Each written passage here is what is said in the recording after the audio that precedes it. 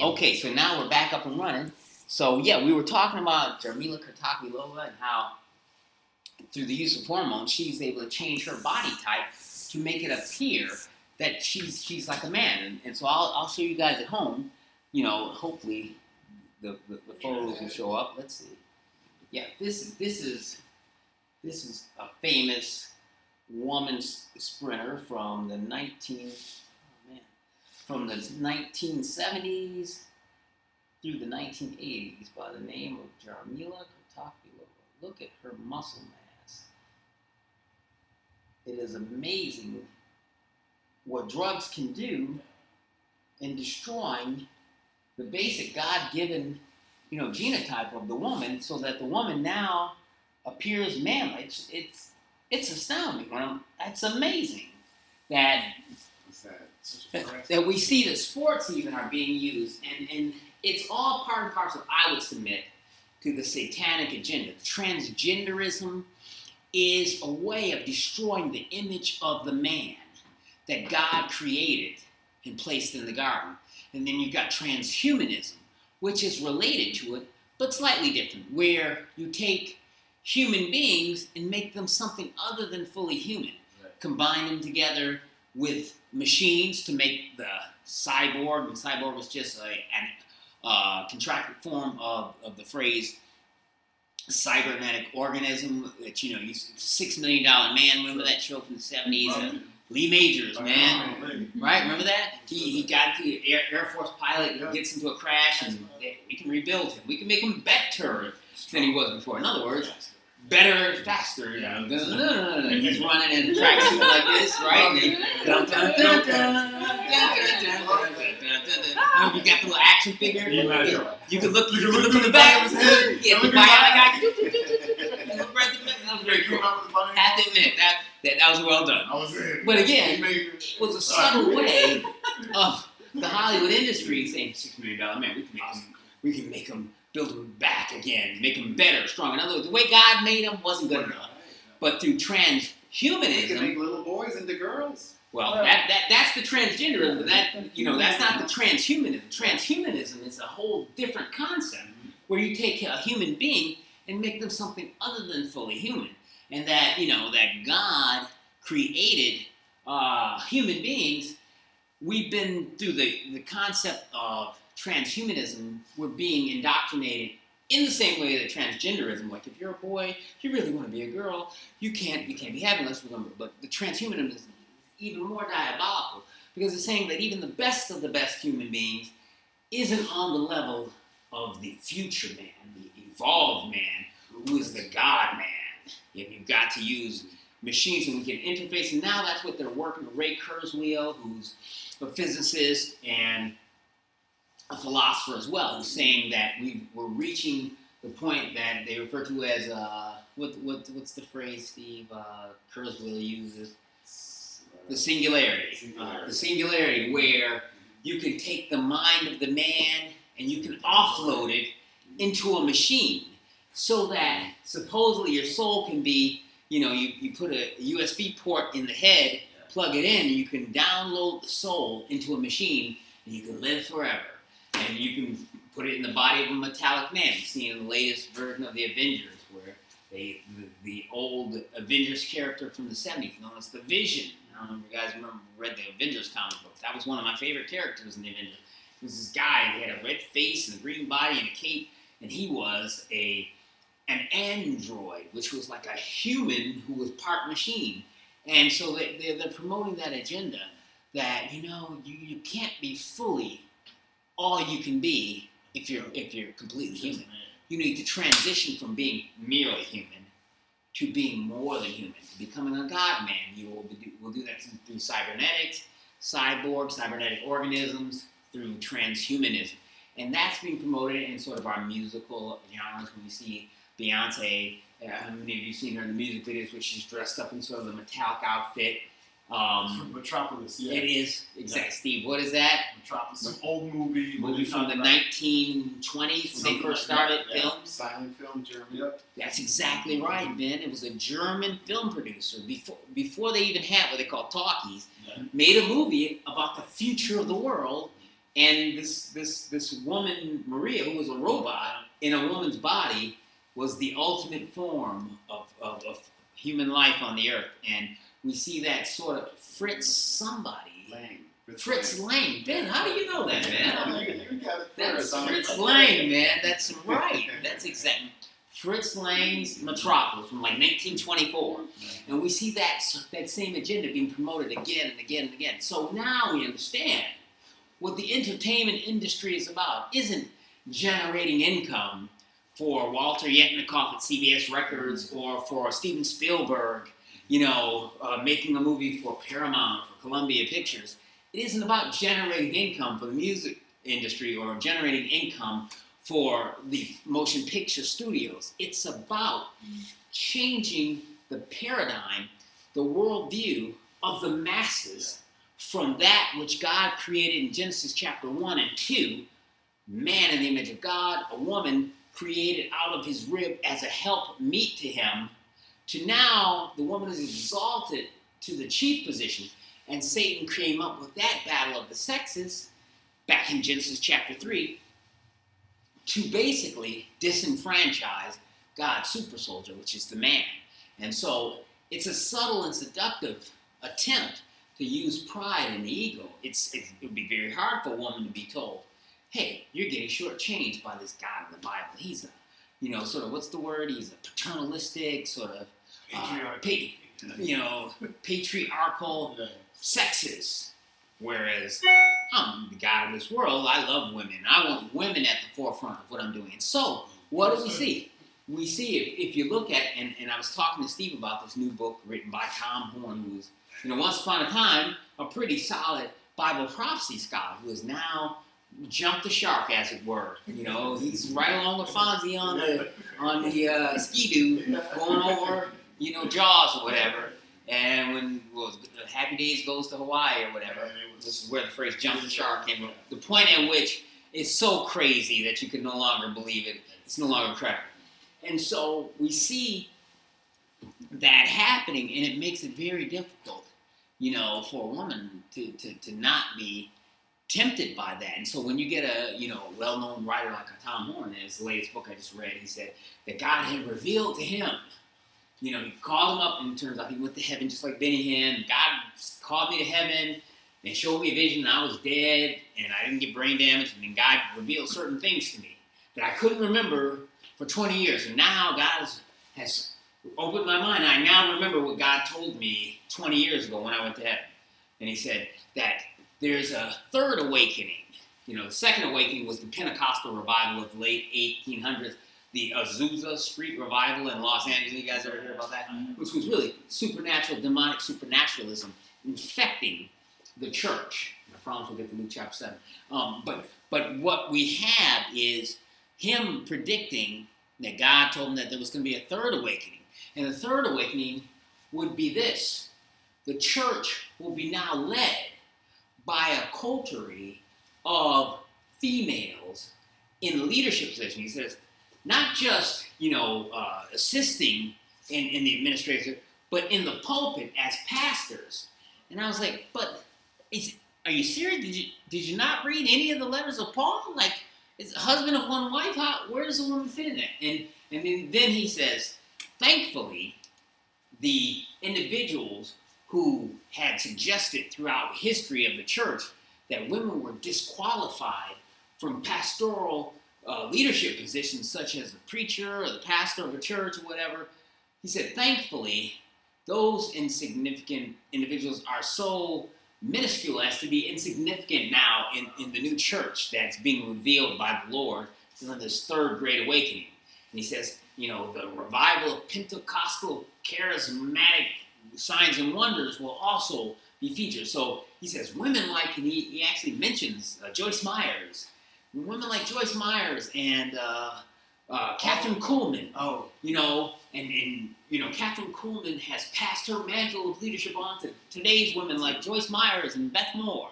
And this will be the new, last uh, iteration of the church before the kingdom of heaven is established. I could barely believe it is actually coming out and saying this. And the thing that registered in my mind was like, wait, is this exactly What Second Thessalonians chapter 2 mm-hmm. says, that it will be through signs and wonders that the Antichrist will deceive people into believing that he is Jesus Christ. And this is exactly what Tom Horn is promoting in his new book. And it's not just his opinion, he's saying that he has had a supernatural revelation through a spirit entity who transported him out of his body. I think he's had an actual interaction with, with Satan in disguise. And so we see that even in the mainstream evangelical church, people that believe in the rapture just like we do, people who talk about the Nephilim just like we do, are promoting this new third wave of Christianity, this new awakening where women have replaced the men in leadership positions and they use signs and wonders and magic powers to persuade everyone that this must be of God, which is exactly what Jesus warned of in Matthew chapter 24, which is exactly what Paul uh, emphasized Second Thessalonians chapter 2 and John. So you've got the you got Jesus, John, and, and Paul. That sounds like a 1960s folk group, right? Jesus, John, and Paul. And then once upon a time, the girl tried to take over the church. And they're playing on the acoustic guitar. Um, and so then we have John following it up with what? The book of Revelation, specifically chapter 17, 17 and 18, specifically 17, Mystery Babylon.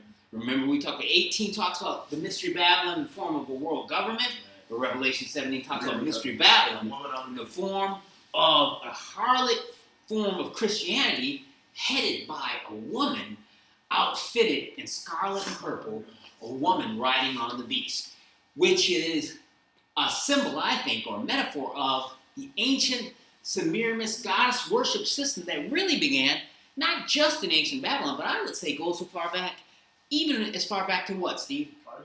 Garden of Eden, Genesis chapter 3. That's where Mystery Babylon started, where goddess worship started, where women being worshipped as a deity started. To what? Pervert the image of God. Man is going to be the leader, the image of God.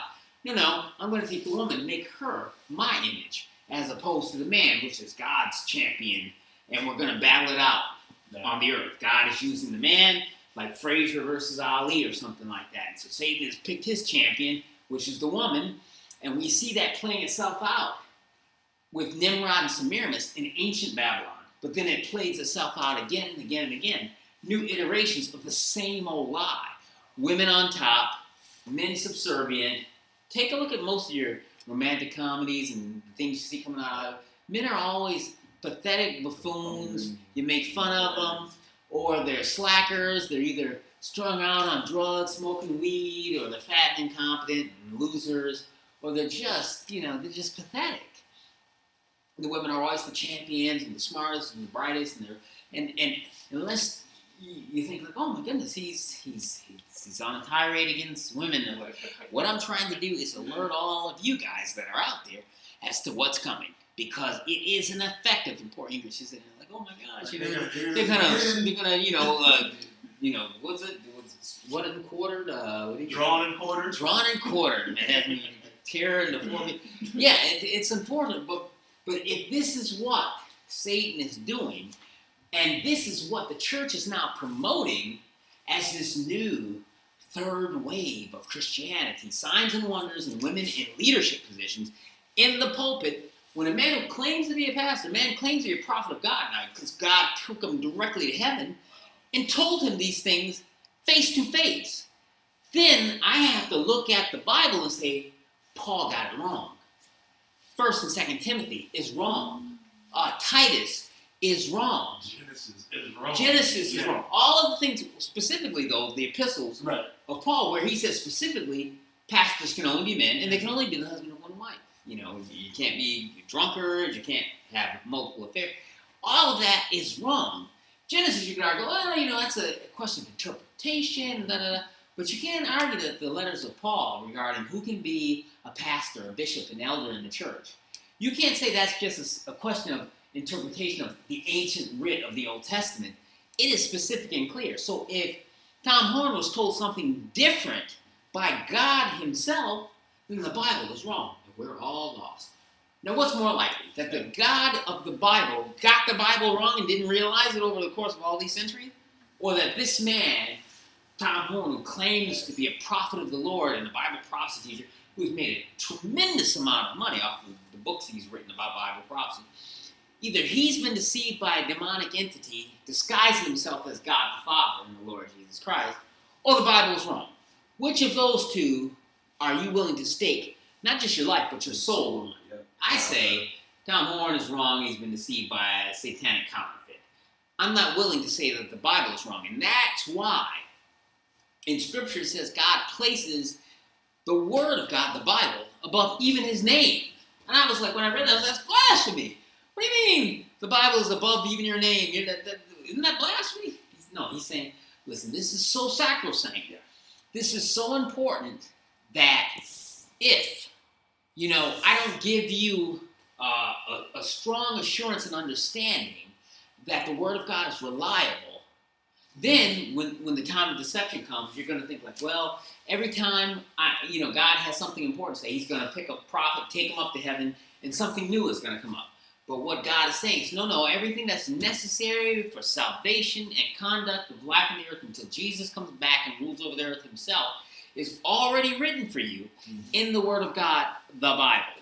And if there's a question about doctrine, where do you go? You go to the, the Missouri Lutheran Synod in, uh, you know, Coeur d'Alene, Idaho, or in, in, in you know, uh, what's, what's the capital of Missouri? Kansas City, Missouri. Jefferson. Jefferson City, and then Kansas City is one of the other major cities. Do you go there and meet with the elders there? No. What you do is you go to your Bible, you open it up and read what the Bible says. And if what some man says is different than what's in the Bible, you go with what the Bible says and you disregard what the man said. Why? Because God, God said that's how it works. And so, goodness forbid, man, you know, my, my little segue there has gone on for, you know, 45 minutes now, but it's just, I just felt overwhelmingly pressed that the Lord wants this information communicated to you guys who are the real church. The real church is not the masses meeting in the large sanctu- sanctuaries uh, throughout the United States and the world. We talked, I think, last week. I was mentioning how Calvary Chapel on the Beach is having a, a woman's only conference right there on Miami Beach, and uh, they're going to have one of the big famous female speakers. Uh, who was it that I said? It was uh, the wife of Wes Bentley, who was like some missionary to Africa or whatever, who became a missionary because his wife divorced him, and then I guess he, he met some female missionary over in Africa and he married her. Now she's leading a woman's missionary group. So Calvary's having this whole big thing on missionary stuff, but it's limited only to women. What sense does that make in a church where men are the leaders in, in the church of God, but they're excluded from the meeting hall because now there's a special ministry called missionary evangelism, which men are excluded from. Oh, and it's also seventy-five dollars a head. Did I, did to mention that? Seventy-five that part out. dollars a head just to go sit in, in, in one of the chairs at Calvary. And I just there's something about that that sets wrong with me. It makes me feel like we are in the days of apostasy, boys and girls. And I guess that's encouraging to the extent that Paul says, this is what you need to look for just before the rapture comes.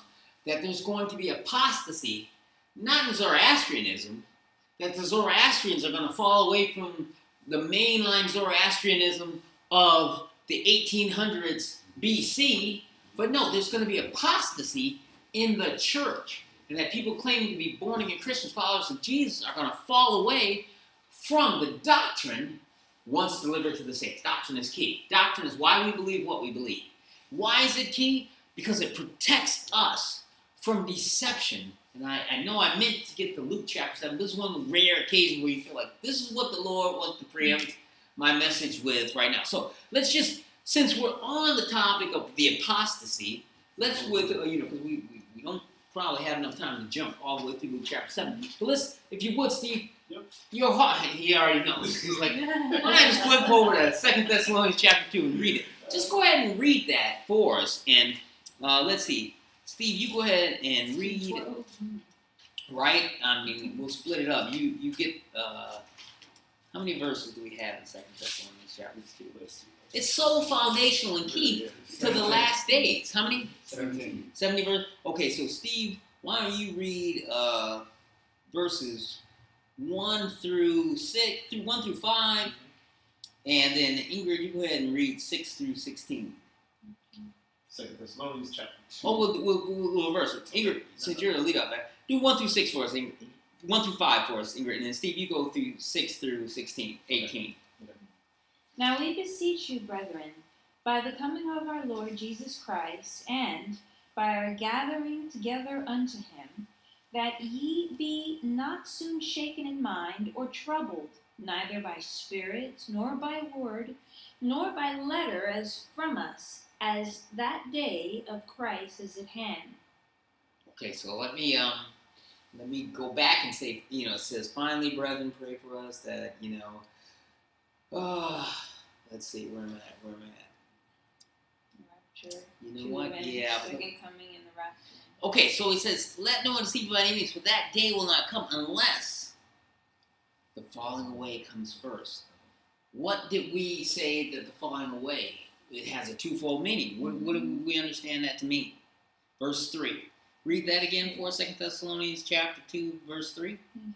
Let no man deceive you by any means, that that day shall not come, except there be a falling away first, and that man of sin be revealed, the son of perdition. Okay, so that that that day mm-hmm. is the day of Christ, the day mm-hmm. that, that, that the Antichrist is revealed and Jesus comes Yeah, back to destroy him. But that day, the Antichrist being revealed on the earth can't come unless the falling away comes first. And we know that falling away is, is from the Greek root. What what's the Greek root root word there? It's the apostasia Apostasy. which is what we get our English word apostasy from. And it has a twofold meaning. It has a literal meaning that what, Steve? Which one? Heart. Well, uh, yeah, Physical, what's physical departure Thank you. and spiritual. there you go. That's right. It does mean to depart, but in what sense does it mean to depart? There are two different senses in which you can depart from Miami by catching a plane to New York, mm-hmm. right? That's a departure. Departing now from gate six is the flight to New York City, all aboard, you know, whatever. That's a departure. But then when I say, you know what, I no longer believe that God intended people to be born again. I, I'm a Zoroastrian now. I mm-hmm. reject the Bible.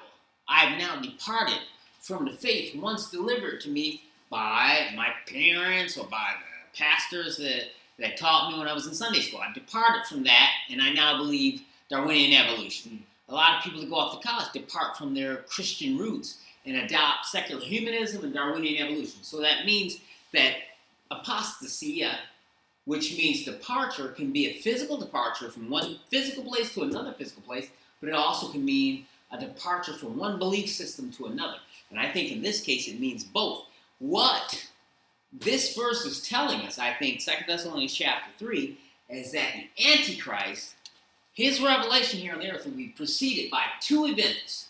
One, the departure of people claiming to be born again Christians from biblical doctrine that we find written in the pages of the Bible, specifically in the epistles of Paul, in the Gospels, in the book of Revelation, to a new belief system promoted by people like Tom Horn, Beth Moore, uh, and, and, and the like, who use signs and wonders to convince people that God is giving me a new thing. Yeah, I know the Bible says something completely different, but we're going to depart from that to this new paradigm, this third awakening, this new way of looking at the kingdom of heaven and his establishing it here on the earth.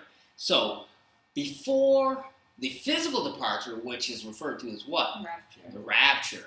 The rapture. We learn about that in John chapter 14. Before the physical departure of the church, I think the church is going to witness the doctrinal spiritual, as Ingrid said, departure from the written word, the doctrine that Paul once delivered to the saints. And it was delivered only once, right? Once delivered to the saints doesn't mean means that every time some new religious guy comes up, we get a new doctrine, we get a new faith that we have to rely on. No, Paul says this is once for all time. So we are now seeing that people standing in the pulpit claiming to be the ministers of God's word are telling us ignore what Paul wrote in Titus, 1st and 2nd Timothy about women pastors. Ignore all of that. God told me directly when? Well, I died 20 years ago and I went to heaven. Why didn't you tell us this 20 years ago? I couldn't remember. God put a block. He said, like Daniel. He, he you know, when I said, what's the meaning of all this? You know, he kind of said, go your way. And now, like John, I'm both Daniel and John. He, he's saying in his new book. And God has revealed to him now. Remember what I told you in heaven? You forgot. Well, now I'm going to make you remember. Now go tell the people. Oh yeah, the new last third wave of church manifestation of God's miracle and will on earth is women in leadership and men taking a subservient role. And so that is different than the doctrine once delivered to the saints by Paul. And scripture says it's only delivered once. So this must mean Tom Horn and all these other people, the Beth Moores, the Joyce Myers, you know, any uh, evangelical so-called Christian organization that promotes or accepts the doctrine is wrong. And we know that because we already have in writing what the real doctrine is. So, Second Thessalonians chapter 2, verse 3, that no man deceive you by any means, that that day will not come unless the falling away comes first. And then the man of sin, the son of perdition, is revealed. And then Ingrid, go ahead and, and, and read, uh, let's see, verses 4 through 8. Who opposeth and exalteth himself above all that is called God, or that is worshipped, so that he as God sitteth in the temple of God, showing himself that he is God. Remember ye not that when I was yet with you I told you these things, and now ye know that what withholdeth that he might be revealed in his time. For the mystery of iniquity doth already work. Only he who will now let it will let until he be taken out of the way. Okay, now stop right there. Now, what in, in the King James Jamesian, what does that mean, Steve? Restrain. Okay, he who letteth will continue to let until he's taken out of the way. And and we, we find out that the let means allow now. Back in, in, in King Jamesian English, when this was written in the 1600s, it was really written back in 60 AD, but when it was translated to English in the 1600s in the King James Version of the Bible, the, the word let in English meant restrain. So what this is saying is that he who restrains will continue to restrain until he is taken out of the way. Now, there's a number of interpretations as to who the he is, but I think the one that makes the most sense is what, Steve? Holy Spirit. Yep, the Holy Spirit working by and through the church mm-hmm. is restraining the revelation of the son of perdition. And son of perdition is another metaphorical term for who? Antichrist. The Antichrist. So he who restrains Holy Spirit in the church will continue to restrain until he's taken out of the way. When is the Holy Spirit taken out of the way? He's everywhere if he's God. At the rapture.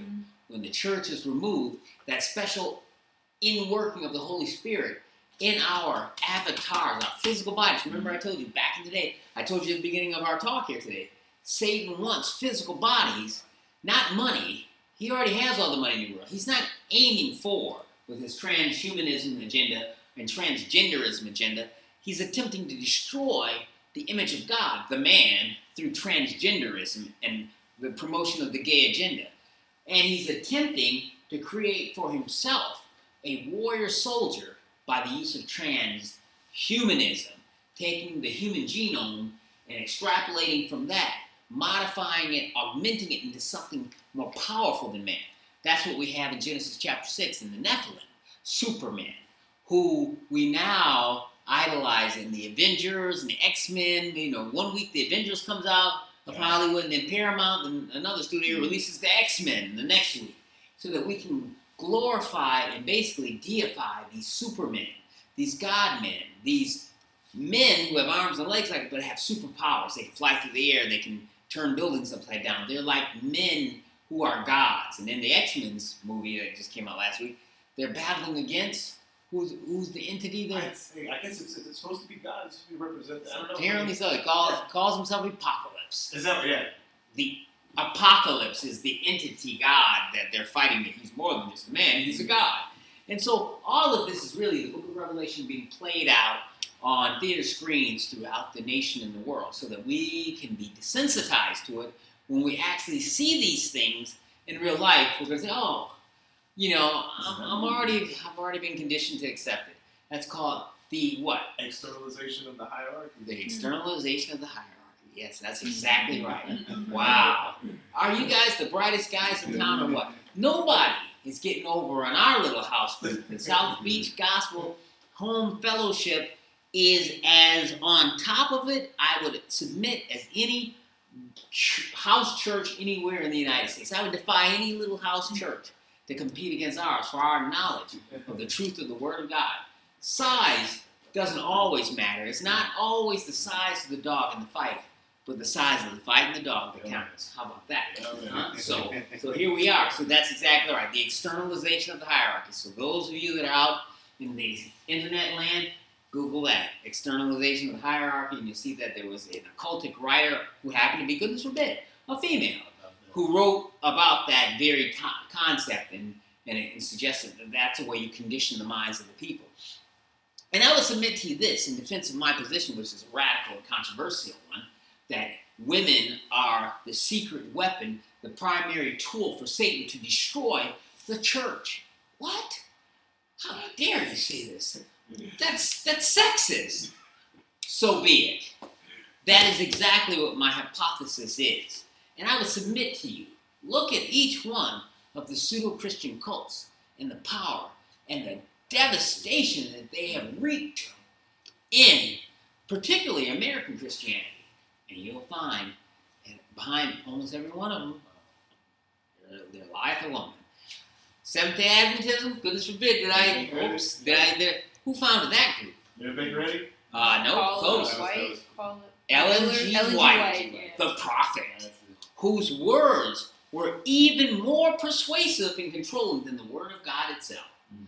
Ellen G. White, the prophet of Seventh day Adventism. Seventh day Adventists try to separate themselves. Oh, I, one of my buddies at the state attorney's office, we used to share off, well, my office was the next day. He said, no, Herb, we're, just like you. I go, no, my friend. You, you, you're nothing like me. I'm an evangelical Christian. I go out and preach the gospel of Jesus. I believe in hell. I believe in Jesus, God, in human flesh. And if you're not born again by faith alone, you will spend eternity in hell. You guys don't believe in hell because you're Seventh day Adventists. You guys are like my other friend Erica, who's a Jehovah's Witness. She, like you, claims to be a Christian. She, like you, doesn't believe in hell, doesn't believe God will send people to hell. And so as a result, you guys have cut out the heart of the gospel that Jesus is the Savior who has saved us from condemnation in the fiery depths of eternal damnation in hell. If you don't believe that, you don't believe the gospel. And so you got Ellen G. White finding, founding the Seventh Day Adventists.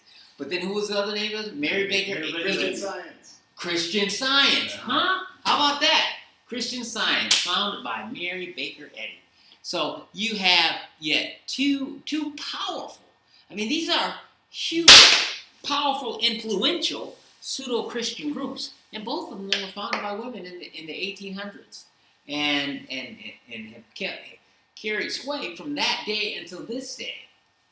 And there have been men as well, you know, men who you know are responsible for the Jehovah's Witnesses, Charles Taze Russell, and uh, you know he was a contemporary of Ellen G. White, and they both were followers of William Miller, and they came out of that apostate pseudo-Christian, the uh, Christadelphians, they called themselves at one point. They came out and created this new no hell Christianity. You know, one headed up by uh, Ellen G. White, and then the other headed up by Charles Taze Russell. And they gave us our Seventh day Adventists who try their very best to give you the impression we're not like the Mormons and Jehovah's Witnesses. No, no, those are pseudo Christian cultists, but we're like you. We're mainline Christians. No, no, no, no, my friend. The Adventists are no more mainline Christians than the Jehovah's Witnesses are. Let's just call a spade a spade. You got to call it because you don't believe in hell. You don't believe the gospel. If you don't believe the gospel, you will die in your sins. And so, again, what I believe we are seeing right now, which is why I think the Holy Spirit has preempted my Luke chapter 7 message for today, is because a sense of urgency is missing in the commercial corporate church that dominates our land. But in the small house churches like this, the Holy Spirit can impact the leader even as he's driving. I spent all day like preparing my little notes, and I got I got stuff written in blue, and I got like other stuff written in red, and I got all my little transitions to the Old mm-hmm. Testament. Oh, I was like, oh, I'm gonna tie this one right in. We're not gonna use any of it because the message the Holy Spirit wants you guys to hear tonight is this: that sound the alarm, you know, watchmen on the wall, because we are in the last of the last days. And we are seeing Satan manifesting the Second Thessalonians chapter 2 apostasy in the church, not in Satanism, not in Wicca, not in Zoroastrianism, but in the church. We see satanic counterfeits dressed bright and beautiful, appearing in the form of a lovely woman.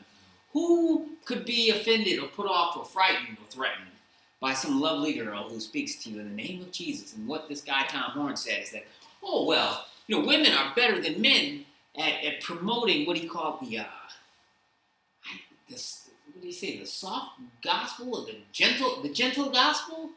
In other words women can stand up and say "Well, jesus just loves you as you are. Uh-huh.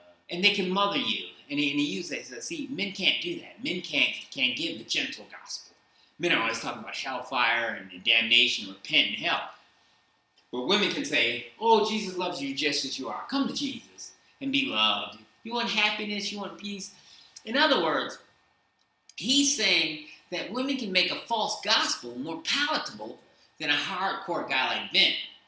You know, he's not going to be as alluring with his gentle gospel. The gentle gospel is different than the gospel once delivered to the saints. And this guy, Tom Horn, is saying that women are going to be the new mouthpiece for this new gospel that's based upon compassion, mercy, and love. It has no hell and judgment in it. That, my friends, is not the gospel in the Bible. It's a different one. And if it's different, then it's false. And if it's false, then it cannot do what? Save, It can't save. And if you're not saved, what happens at the end of your life, Phil? You're going to hell. But, but for how long? Forever? Now that's, come on, now you're being a little, uh, you know, uh, wow. That's a little harsh. That's not loving. You send me to hell forever? How is that loving? That's justice, my friend. There are two sides to God. He is both loving, but he is also just. And if he doesn't judge sin and judge it not just for a little while, but forever, then he's not just. Even if he's loving, he's not just.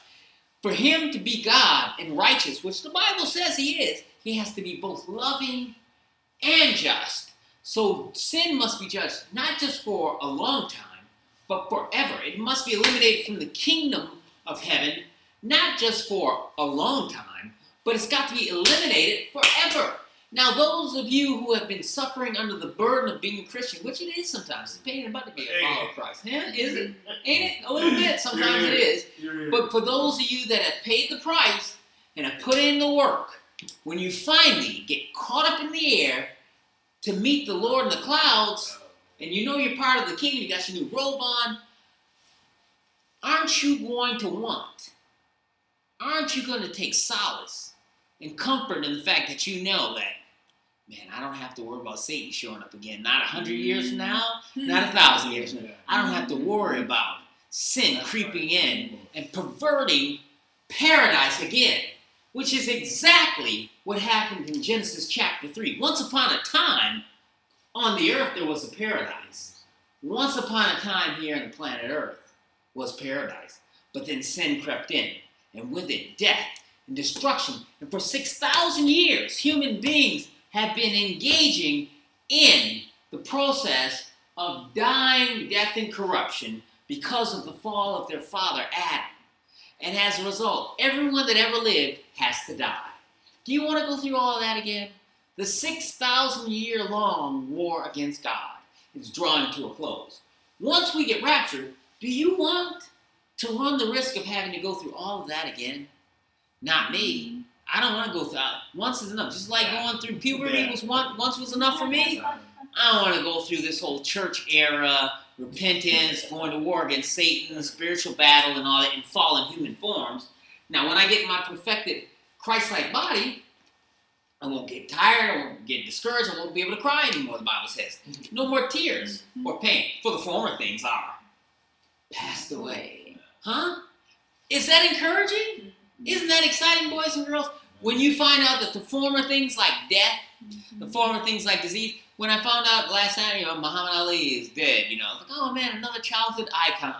You know, the greatest here, you know, great guy, whatever. Deceived by the lies of Islam because Malcolm X tricked him, and, and the Prophet Muhammad, you know, Honorable Elijah Muhammad, promoted that agenda, and because Muhammad Ali had been subjected to all types of racial injustice here in America, he was ripe for the picking. But even he said later in his life that he knew that the Nation of Islam had manipulated him and exploited him. And when he was stripped of his title for standing up for Islam, they abandoned him.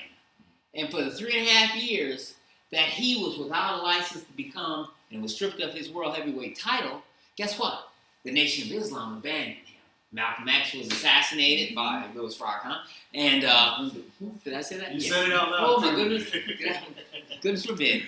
Look at me, you know, I'm a mad prophet speaking truth all over the internet. But anyway, after, uh, you know, Malcolm X was killed for renouncing his position that all white people were of the devil, he got assassinated, and, and then the Nation of Islam abandoned Muhammad Ali until the Supreme Court of the United States reversed his conviction and restored his right to fight and he immediately signed up to fight for the World Heavyweight Championship at Madison Square Garden against Joe Frazier in the spring of 1971. And next thing you know, he said, there was the Nation of Islam standing outside my door all over again as if nothing had ever happened.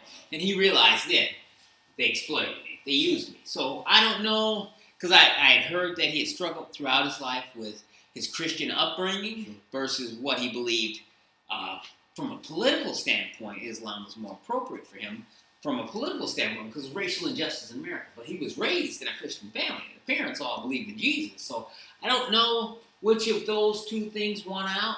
And you know, I was uh, I was thinking when, when I oh Muhammad Ali's dead. You know, I don't have enough energy left to be in mourning and sadness again. You know, you know, just seems like the other day was Prince. Yeah. And then next thing you know, it's Muhammad Ali. You know, it's like all of your your, your icons from the past are just mysteriously and, and tragically dying. Death is a part of life in this fallen world. And you don't want, when you're in the kingdom of heaven, for the guy who's behind every death that ever occurred, at the end of it, Satan is really the guy responsible for it. That's why Jesus referred to him as a murderer from the very beginning. What has he done? A murderer from the beginning. From the beginning, it's like at the start of the, the homicide, like, like a murder trial, like the OJ case. From the beginning, OJ was the murder. You know, even though he's acquitted. No, he's talking about in Genesis chapter 3, from the beginning when he deceived Eve, who then seduced her husband who betrayed God. From that point onward, every human ever born had to die legally because Adam was the head of the human family. And that's why Jesus referred to Satan as a murderer from the beginning, because he was the guy that set in motion the new Semiramis form of Mystery Babylon Christianity that reduced man to following his wife and exalted the woman to the leadership position. Do you guys not see that? It is so obvious when you look at Genesis chapter 3. God's not a sexist. He doesn't have it in for women and think men are awesome and women suck. No, all people suck because we're all fallen. But God has chosen the man to lead for his own purposes, and that's why he created the man in the image of God. He created women differently. That's why we look at women and we're stunned with their beauty and their physical attractiveness. And even the angels in heaven look down upon the woman. We're like, what on earth is that? And some of them even abandoned their first estate. They abandoned their positions in heaven so that they could come down and marry the women because they were so staggeringly, stunningly beautiful. The most alluring and enchanting creature in all the universe? A woman. No question about it. Angels abandoned heaven for the opportunity to spend a few years as a husband and wife with them. And God judged them by, you know, sending the world to destroy their, their offspring with the flood. And that's why the Nephilim were destroyed in the days of Noah. But they came back after that. And they will be a part and parcel of the army of Satan during the Battle of Armageddon. This transhumanist army that has stolen the human genome, the DNA, and augmented it into Superman, who will battle Jesus face to face at the Battle of Armageddon at the plain of Jezreel when Jesus comes back a second time. So, I'm saying all that to say this, that we see in 2 Thessalonians chapter 2 that there is an apostate form of Christianity that will precede the rapture of the church and the revelation of the Antichrist. And if we are now seeing people in the church like Tom Horn promoting an apostate agenda where men are replaced with women in the pulpit, and the gospel that these women are preaching is not the gospel of repentance, salvation from hell through faith in Jesus Christ and his shed blood on the cross alone, but because Jesus is kind and gentle and loving, that this new gospel will be apparently more appealing. Uh, this this third wave of Christianity, this this new third awakening, has a new agenda Christianity is more palatable and acceptable by the world. So you get bigger crowds. Mm. And this gospel is different than the one once delivered to the saints, which means that we are in the last of the last days. So it's discouraging to the extent that people that aren't saved are going to get more deception. But it is super encouraging for me because I'm ready for quitting time to come. I'm ready, you know, I'm like Fred Flintstone on the cartoon. Remember at the beginning? Wait for them. At the beginning of the Flintstones, you know, Fred would be working on the dinosaur in, in the rock yard, and then the guy Whistle pull the horn, and, and the he's like, "Yeah, but that would do. I get to go home." And you know, at the beginning of the show, he'd be racing out of the rock yard and jumping in his car to get home to be with his wife and enjoy life because he knew he had to put in his work in order to enjoy his time with waiting. We're putting in work now, boys and girls, huh? Mhm. Yeah, you haven't an avenue, right? Because if you're a born again Christian, you're putting in work every day because you got to go into the world. And the world isn't occupied by Christians. The world isn't loving on you because you're a born again follower of Jesus. The world's hating on you a little bit. So you got to be a little careful. You got to be nuanced in dealing with the pratfalls of everyday life on this earth. And it's tough. And then you got to go out and do stuff on Saturday, like preach the gospel, or come on Thursday night, and you got to do, you know, Bible study. Man, I'd rather be watching the NBA Finals, man, and listening and talking about Jesus. But you know, I- I'm part of the church, so I got an obligation. But there's going to come a time when the work you put in is going to be rewarded. All the NBA Finals you missed, all the sleep you missed by getting up and doing things for Jesus that you didn't want to do, all the persecutions or promotions at work that you missed out on because you were a little too vocal about your faith in Christ, and they thought, uh, you know, you might not be appropriate for the sensitive leadership position because you know your faith. But not saying there's anything wrong, but we're passing you over, and all of that Jesus sees and remembers, and you will be rewarded for your struggles and your sacrifice, for your labor in the Lord. The Bible says is not in vain. And you know, it says there's coming a time when our lives will end here, whether it be through physical death, like Muhammad Ali and Prince, just encounter, or through the rapture, which is what I'm hoping will be the way we get out of here. But it says once our physical lives here on the earth is done, we're gathered to the kingdom of heaven, to the Father's house, and our works You follow. do follow. I love that verse. You know, the martyred in the Lord. Blessed are those who die in the Lord from now on, for they have rest from their labors, and their works do follow them. Follow them what? To the kingdom, to the Father's house. All the good stuff you did for Jesus is going to follow you and be converted into an eternal reward for you. And so, 2 Thessalonians chapter 2, we see apostasy must come first, and then the Antichrist comes. Okay, and so, Steve, just go ahead and close it out from verse 4 it's talking about the son of perdition, perdition is going to be revealed after the apostasy comes. Bang on down, 4 through 17. Who opposeth and exalteth himself above all that is called God, or that is worshipped, so that he, as God, sitteth in the temple of God, showing himself that he is God. Remember ye not that when I was yet with you, I told you these things. And now ye know what withholdeth, that he might be revealed in his time. For the mystery of iniquity doth already work. Only he now letteth will let until he be taken out of the way. And then shall that wicked be revealed, whom the Lord shall consume with the spirit of his mouth, and shall destroy with the brightness of his coming. Even him whose coming is after the working of Satan, with all power and signs and lying wonders, and with all deceivableness of unrighteousness in them that perish, because they receive not the love of the truth, that they might be saved.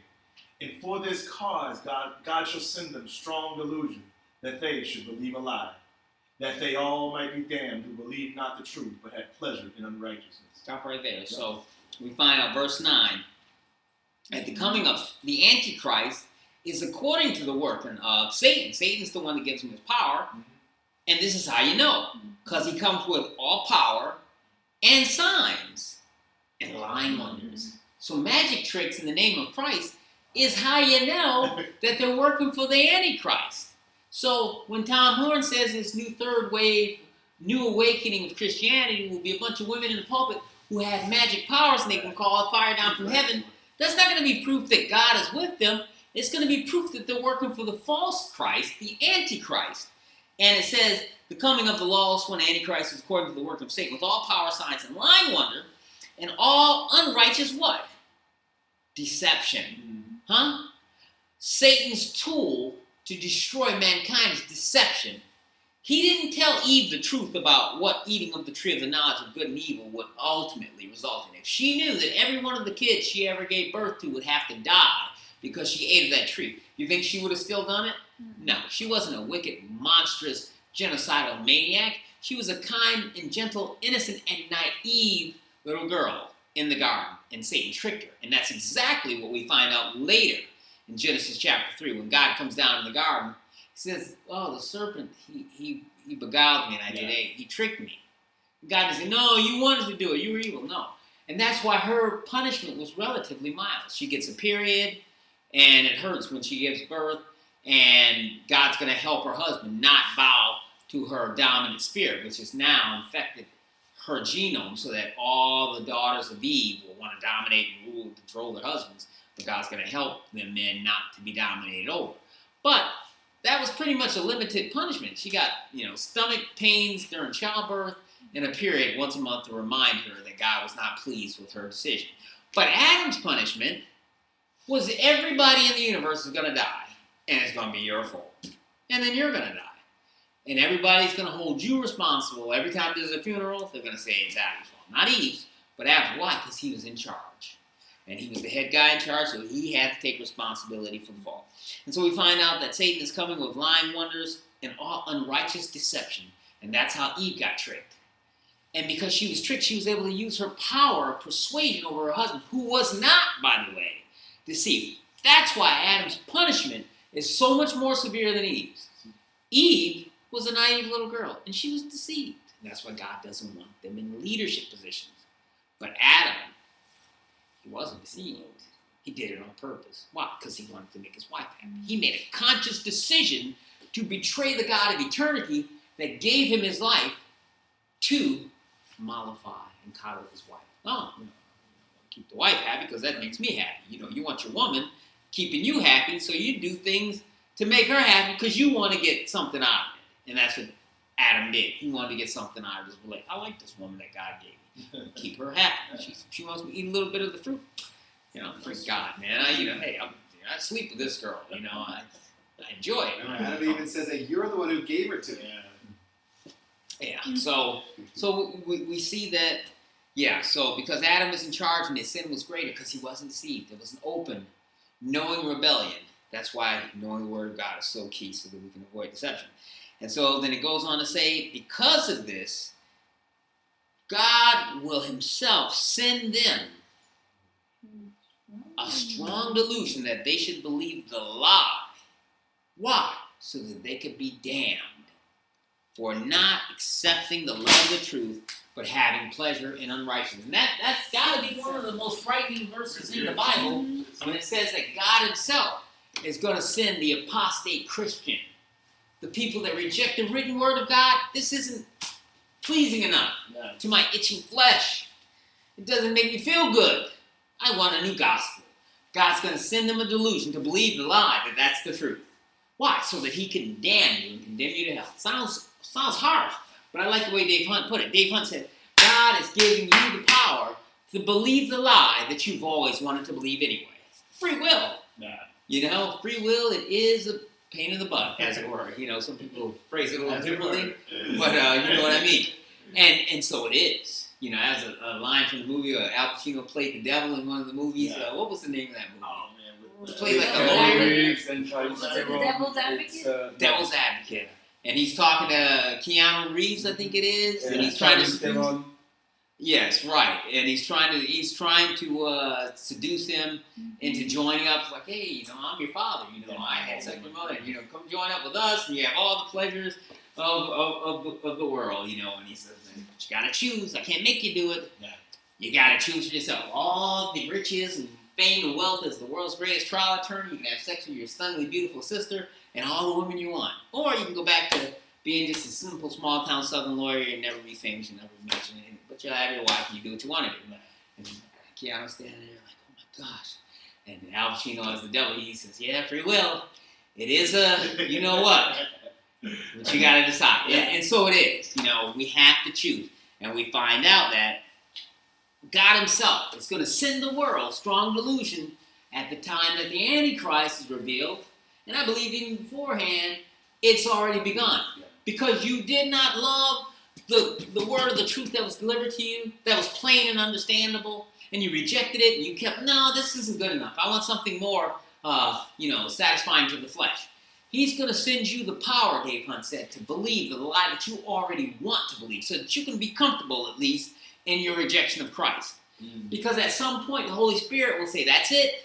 I'm not toying with you anymore. I'm not toiling with you anymore. I'm not going to force you to accept the gospel of Jesus Christ that can save you. I'm going to allow you to make your own decision about that. And if you decide to reject it, there's a point in time when the Holy Spirit says, Fine, thy will be done.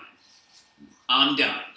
And then, on the last day, when you stand before the judge of the quick and the dead, nothing you can say. Because the Holy Spirit, look, I, I, I, I, I didn't have the authority to force you to accept the gospel of Jesus Christ. You chose to reject it.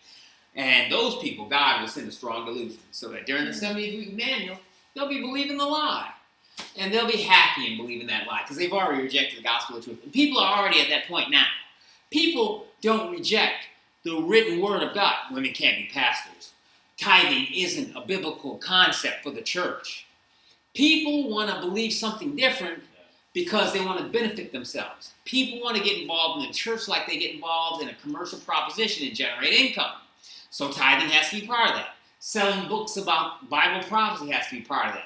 And if you already written a book about the rapture, Jesus is going to come to the church, John chapter 4, you got to keep coming up with new stuff. So guys like Tom Horn come along and say, guess what? I didn't reveal this in the other 12 books that I've published over the course of the last 15 years, but guess what? I died 20 years ago and went to heaven, God told me special secret things. Can't reveal them here, but if you get my next book that's coming out next month on my publishing company, because he owns his own publishing company and a TV station now, there's always a, a direct link between television stations, commercialized TV Christianity, and apostasy seem to go hand in hand like a pancake and syrup.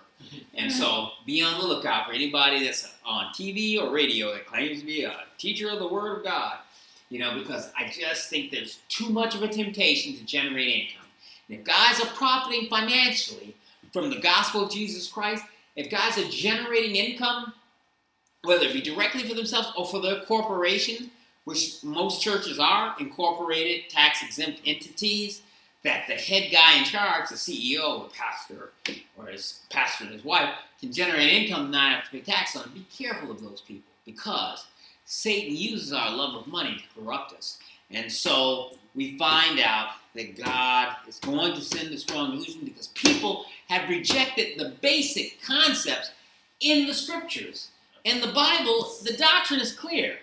Where Paul says women can't be pastors. It's not open to debate. When it says homosexuality is an abomination, that's not open to debate. And when they had the I Am Jazz show last night, you know, you know, these people that are part of this family, you know, these are, you know, Jewish people that, you know, that, that, that grew up knowing the Torah mm-hmm. from of old. It's like your own forefathers wrote down the words that God told them to write down and included it in the Tanakh and in the Torah. And in the Torah, in the book of Leviticus, it says that if a man lie with another man the same way he does with a woman, it is an abomination to the God of Israel. Now that's very clear cut and straightforward. You either accept it as the truth or you reject it. Either it was written down wrong or God's a liar or he's a malevolent jerk who's a homophobe. Now, it's your choice as to which of those options is true, but the only option that will get you eternal life is that it's the Word of God is true, and regardless of what I want, this is what He wants. And since He owns the world, the universe, and all that in it is, including uh, all of us, He gets the right to tell us what to do with our lives. And if we reject that for a new gospel that's more palatable to us, because I want to marry my boyfriend, because I think homosexuality is cool, and geez, the Bible, the way it's written, Bible as extant, doesn't meet my needs. Because I want to be able to be involved in homosexuality, or I want to have three wives, or I want to engage in some kind of debauchery that the Bible condemns. So I reject the Bible and I create my own gospel, and I put a stamp on it and I say it's in Jesus' name. God's going to allow you to do that but he's only going to allow you to do it for a limited period of time. And at the end of the 70th week of Daniel, all that's going to be over with. So enjoy it with Prince. Party like it's 1999, because at the end of the 70th week, the party's going to be over.